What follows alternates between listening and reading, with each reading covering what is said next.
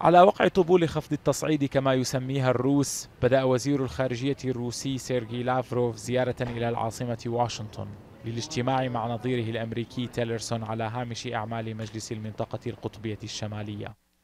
الاجتماع الذي كان مقررا أن يعقد في ألاسكا تم تغييره قبل أيام ليعقد في واشنطن فيما يعكس ثقلا سياسيا أكبر لهذه المحادثات وذلك في زيارة هي الأولى على هذا المستوى منذ عام 2013 الاجتماع الذي كان الملف السوري الحاضر الأبرز فيه يأتي ضمن اجتماعات حثيثة شهدتها واشنطن هذا الأسبوع للبحث في الشأن السوري.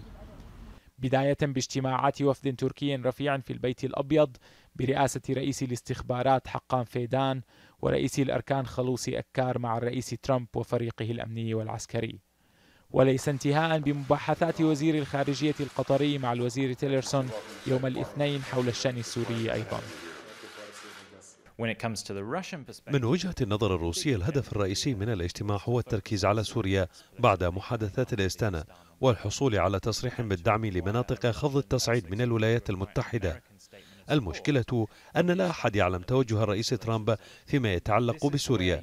ما نعلمه هو أن وزارة الخارجية مرتابة جدا من مخرجات اتفاق الاستانة ومن فكرة مناطق خفض التصعيد.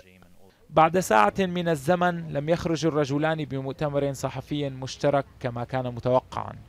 وبدلا عن ذلك خرج وزير الخارجية الروسي وحيدا في مؤتمر صحفي من السفارة الروسية لم يأتي بجديد. تناقشنا اليوم حول السبل المختلفة للتطبيق المشترك لاتفاقية مناطق خفض التصعيد.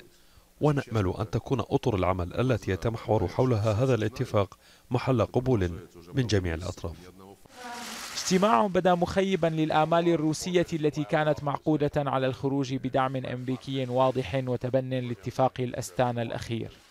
اتفاق استثمرت فيه روسيا الكثير بعد فشل اتفاق وقف إطلاق النار الأول في فبراير شباط الماضي. هنا يلتقي مسؤولو قطبي العالم من الشرق والغرب لبحث الشأن السوري. وبينما تبقى أنظار الساسة وباحثيهم معلقة بقمة مرتقبة بين الطرفين لم تحدد بعد تبقى آمال الناس معلقة بنتائج هذه اللقاءات على حياتهم ومستقبلهم. قتيبة إدلبي أورينت نيوز واشنطن